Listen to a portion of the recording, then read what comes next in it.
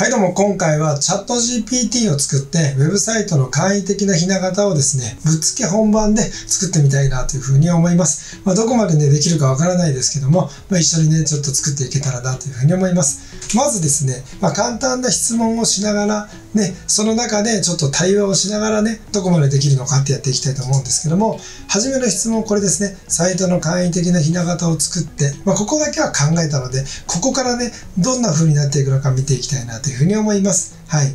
ということで、サイトの簡易的なひな形を作ってと送ってみました。はい。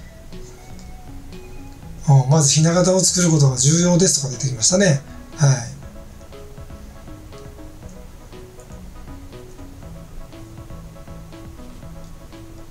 ほうほうほう。すごいこう、すごいしっかり、あの、教えてくれますね。あの、サイトのひな形を作ることは重要ですと。ね、えー、ひな形作ることで、ナビゲーションとかコンテンツ、レイアウトとかを決めることができると。で、全体像が見えてくるので、まあ、サイトを作る上で大きなヒントになってきますよ。いろいろ教えてくれるんですね。まあ、その代わりでも、ひな形作るにはまず目的ターゲットユーザー、コンテンツを決めろと。ああ、その通りといえばその通りなんですけども、あの、簡単なやつはなかなかいけそうないですね。はい。まで、ひな形を作る際には一般的な以下のような手順を踏むことが多いでしょうということで、サイトの目的やターゲットユーザー、コンテンツを決めましょう。その後に、サイトのデザイン、レイアウト、ナビゲーション、コンテンツの配置を考えると。で、ひな形を作るためのツールを使用して、ひな形を作成すると。えー、ひな形のツールには、X3 とか Figma を使いなさいと。ね。で、ひな形を作成するには、HTML、CSS などのプログラミング言語の知識も必要になります。最後にひな形作成したらひな形をもとにサイトを実際に作成することができますので、えー、はい、わかりました。ということでね、そうか、もうちょっと簡単にいきたいんで、ここ行きましょうかね。HTML、CSS のひな形にしましょうかね。はい。ウェブサイトの HTML や CSS のひな形でいきましょうか。はい。じゃあ、ここでいきましょう。はい。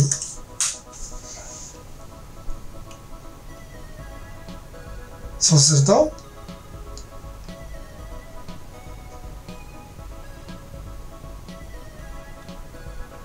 お来た来た来た来た来た。ひな形やってきましたね。おすごい。ちゃんと答えてくれるもんな。ほう。はいこの通りにやっていきましょう。これね途中でね切れるんですよね。長いとね。だからちょっと仕方ないんでしょうけど。えー、なんかいろいろ説明が書いてますね。はい。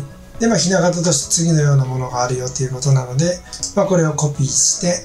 はい。で HTML のひな形ですね、まあ、CSS のひな形じゃないのでこのままなんですけど。でこのひな形に構造がもう定義されてるからヘッドタグの中にはタイトルとか文字コードはもうあるよと。ボディタグの中にはタイトルナビゲーションコンテンツ振った。この後だよね、この後。この後までが出てきてない。これどっかから見れないんですかねあ、見れないんだ。はい。じゃあここまでで終わりなんでしょうね、きっとね。はい。残念ながら。まあこのまま行きましょう。これだけでも多分できると思うので。じゃあここに index.html を作って、この中に入れてみたいと思います。はい。こんな感じで入れました。じゃあ、このまま見てみましょうか。今、作った範囲内で言うと、こんな感じですね。はい、今ここまでできました。ここまで。で、えー、この H1 ね。はい。H1 を装飾したいですよね。H1、そうですね。これヘッダーが足りないですって言っていけるのかな？足りこれこのままいっちゃうの嫌だな。よいしょ。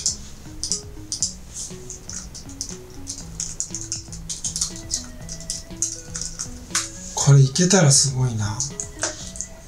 ヘッダーが足りないので追加してくださいと。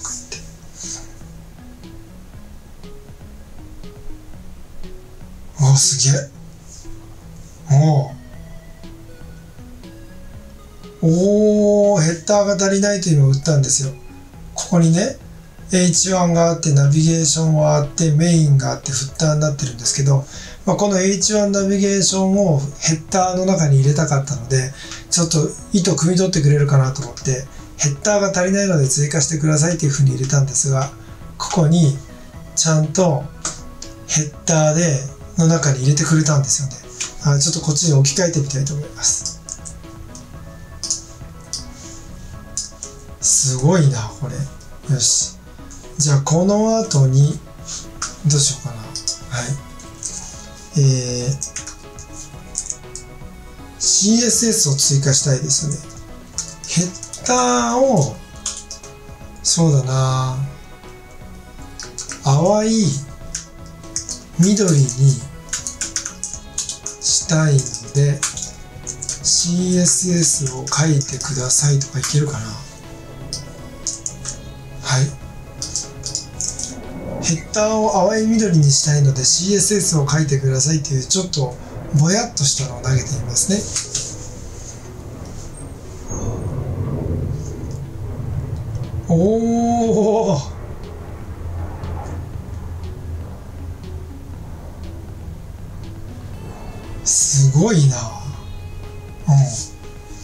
まあこれちょっと CSS ファイルに書きたいんですけどまあこのままいきましょうかねこのままいくとこれをここに全部入れて保存して見てみましょうかお淡い緑になりましたね淡い緑うんでヘッダーを中央に寄せてナビゲーションをなんて書いたらいいんだろう。質問の仕方って難しいですよね、ここになるとね。はい。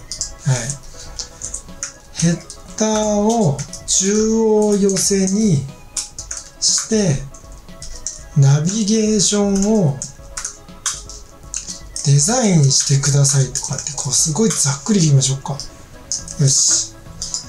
この質問でいきたいと思います。ヘッダーを中央寄せにしてナビゲーションをデザインしてくださいっていう質問をちょっと投げたいと思います。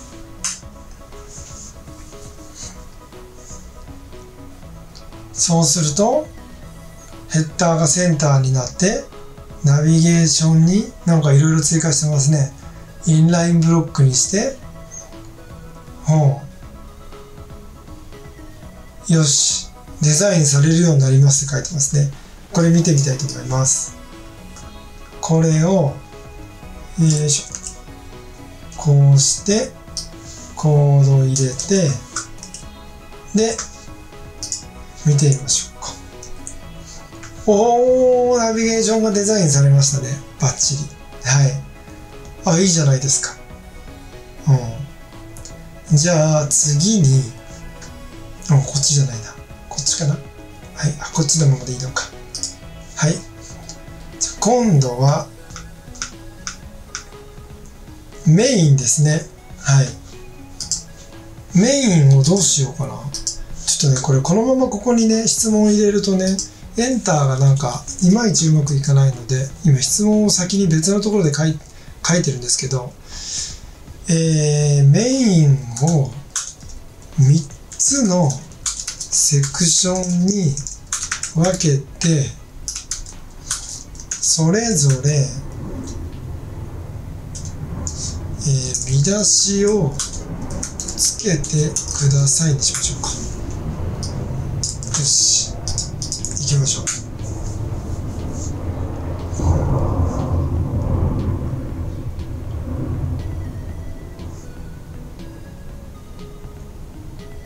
あ CSS も書いてくれましたね。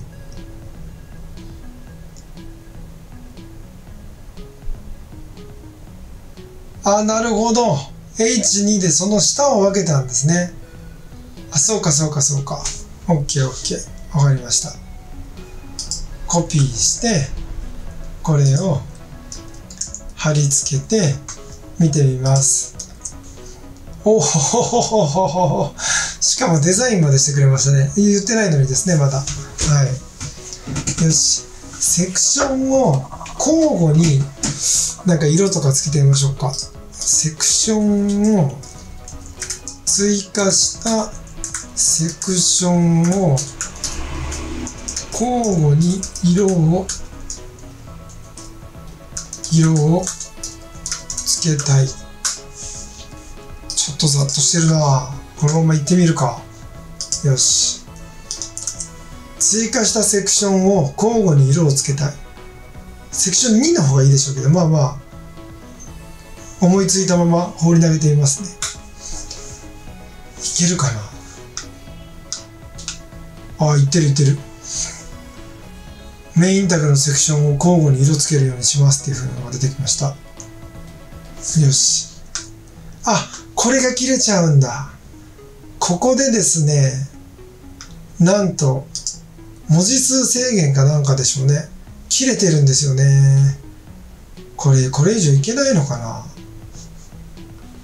あーこれ以上いけない。これ以上いけない。これコピーしても結局これ途中で切れちゃいますもんね。あーこれ早く製品版になってくれたらいいですよね。そしたら文字数制限も取っ払えるでしょうしね。あーもう一回同じ質問してみよう。もう一回同じ質問をしてみます。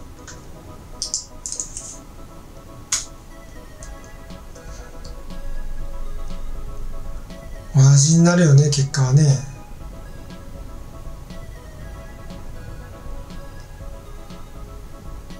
おおあれいけた。あれ今度はいけたな。何なんだろう。文字数制限じゃない。なんかこっちのねパソコンの問題だったりするのかもですね。おおあー途中でまた止まったよ。おいったいったいったいったいった。よし。あここで止まったんですね。これ何なんでしょうね。止まる理由というかなんというか。はい。これをこんな感じおお自動的にねこの淡い緑に合わせて淡い色にしてくれたのかもしれないですね。はい。じゃあえー、っとフッターフッター行きましょうか。フッターフッターも中央揃いにしたいですね。なのでフッターも中央揃いにしたいというふうに打ちたいと思います。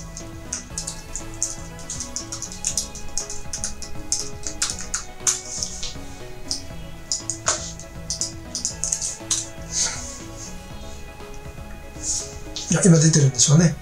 下の方。はい。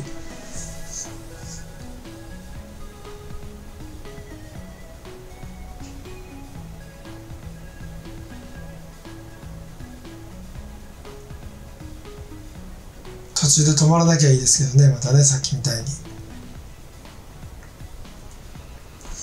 来た。ああこのなんか文章が最後途中で止まりますね。よし。これを追加。そして見てみる。わあバッチリじゃないですか。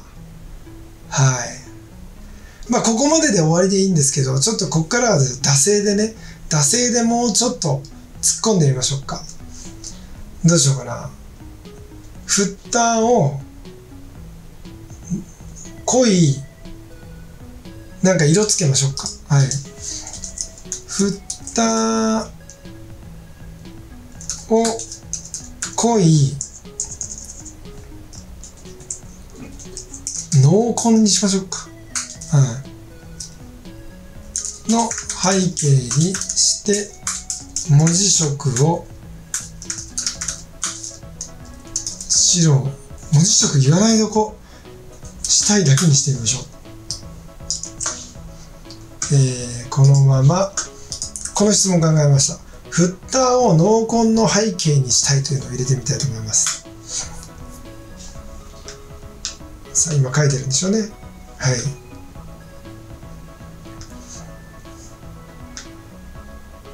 さあ来るかな。あ頑張れるかな。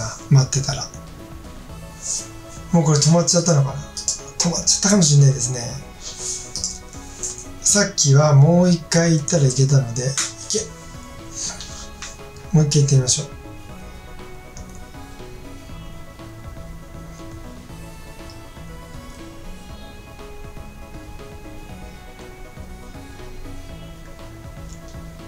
おお頑張れるか。頑張れないか。トライアゲインにするともう一回頑張るんですかね。よしトライアゲインしてみますかね。それともうちょっと待ってみるかな。トライアゲインしよう。2ってのが出てきましたね。1分の22分の2ってなってますもんね。おお無理か。いけもう一回いけ。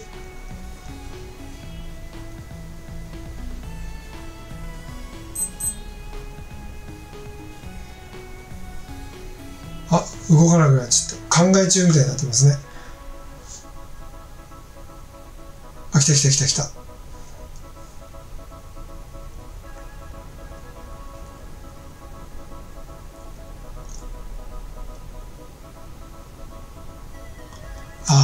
れ以上はいけない。